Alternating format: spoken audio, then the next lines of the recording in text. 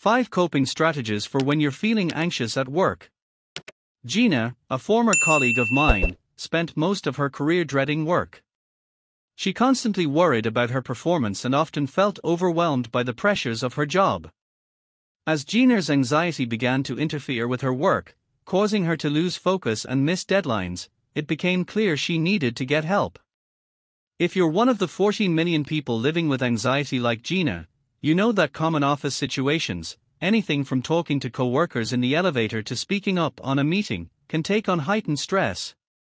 You may find that you have trouble concentrating on the work in front of you. This may result in chronic self doubt and work nightmares. While it's true that nearly everyone experiences some level of stress these days, living and working with anxiety is different. It can be crippling, but it doesn't have to push you down. Beyond getting the right diagnosis and treatment like Gina did, you might consider incorporating some simple coping strategies into your daily life. 1. Know your triggers.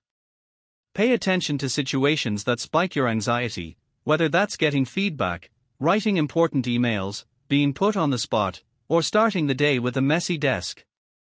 Keep a journal to document your observations and look for patterns. When you know what makes you the most uneasy, you can better anticipate challenges and create a plan to deal with triggers.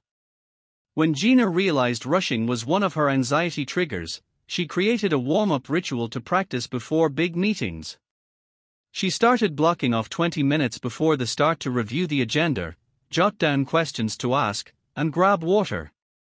She began arriving at the conference room five minutes early, settling in if it was available, and, prepped and relaxed, she made easy small talk with her coworkers.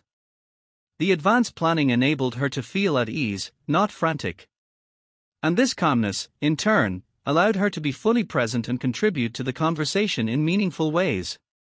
2. Have go to grounding techniques.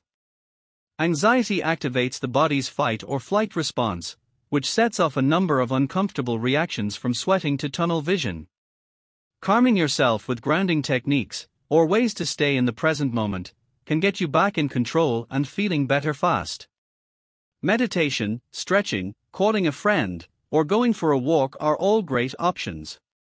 You'll have to find what works best for you depending on your personality and what's acceptable in your office environment, but this list is a great place to start. Your company might even offer mindfulness or yoga classes, or encourage power napping for productivity. All of these are self care options that can benefit the anxious mind greatly. I'm a big fan of box breathing, a method used by the Navy SEALs that involves slow, controlled breathing. It's inconspicuous, and many of my coaching clients use it during meetings or high pressure situations when they feel anxiety coming on. 3. Create conditions for success. Make your well being part of your daily to do list. Simple changes like avoiding too much caffeine, working by a window with natural light, and controlling noise in your workspace with headphones can all help keep the racing thoughts at bay. While you can't control most of your environment, make it a point to change what you can. Prioritizing rest is huge.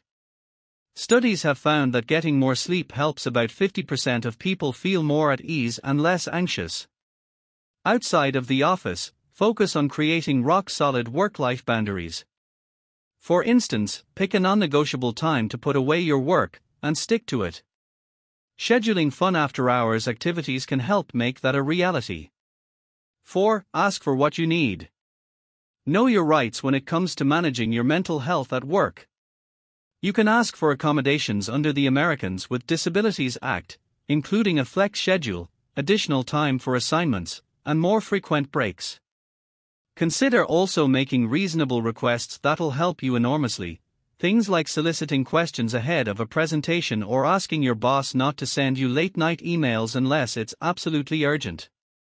If you're explicit about your needs, respectful of others' time and schedules, and intentional about producing quality work, it's likely your team will have no problem honoring your preferences.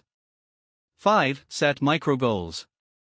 Setting small, achievable goals is always smart, but it's even more important when you struggle with anxiety. You want to expand your comfort zone, yes, but you also want to be careful not to overwhelm yourself.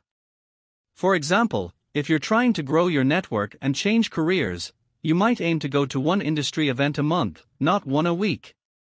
Setting realistic expectations for yourself is key to not only building positive momentum but also preserving your well being.